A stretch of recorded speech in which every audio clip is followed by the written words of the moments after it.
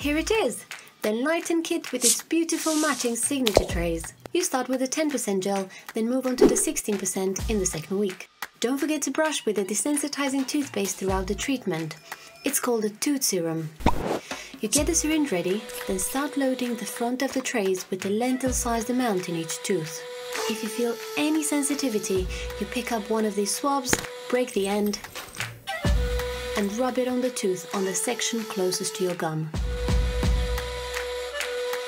Pop your trays in, gently press down until they are in place, and wipe off any excess gel. Now you're ready to sleep. Out of nowhere. In the morning, you wash the trays with cold water only. Once all this is done, remember to introduce the Evo White toothpaste and one extra syringe per year in your routine to keep your teeth white forever.